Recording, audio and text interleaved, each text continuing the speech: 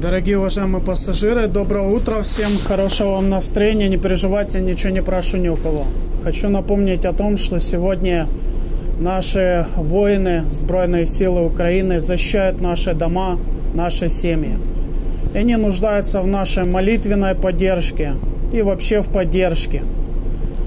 И, может, не каждый может жертвовать свои финансы на поддержку Збройных сил Украины, но каждый может из нас молиться за них.